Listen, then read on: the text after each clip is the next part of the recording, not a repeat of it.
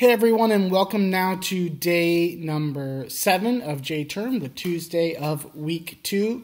I'm excited because the project is starting to take shape yesterday. Uh, the stories were starting to be translated into presentation formats. That was cool to see. I thought the storyboarding went well overall. Hopefully, you got some good feedback on your particular stories and how you tell those stories.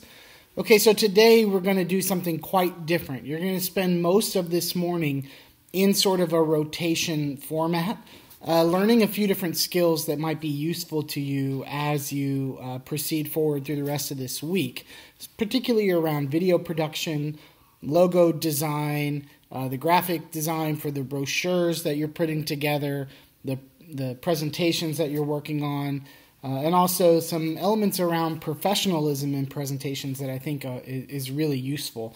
So you're going to be in a rotation. There's going to be some, most of the morning, you're going to be sort of moving through sort of uh, different sessions around the building with different teachers, uh, including um, meeting with Mr. Flores' wife around professionalism in presentations.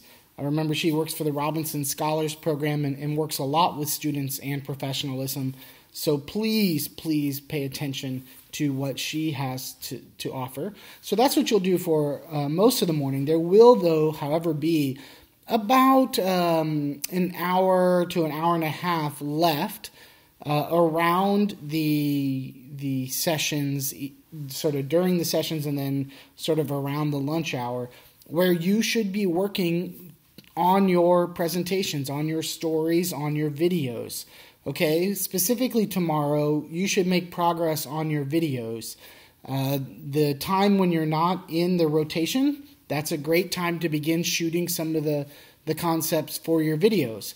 I need you to do that extremely quietly around the building if you're going to be outside of your classroom at all when you do those initial shoots. But this is a time to go ahead and get get started uh, on those on that filming process, as well as working to get your two page business summary done, your brochure, your logo sort of done, um, and the prototyping, all the different pieces that need to come together. It's Tuesday. Uh, it's time for all this to start to really come together. So you're going to have about an hour and a half to do that, as well as move through a series of different sessions today. So that's our big goals. Uh, hopefully, you have fun with it and move forward, and I'll see you around the building.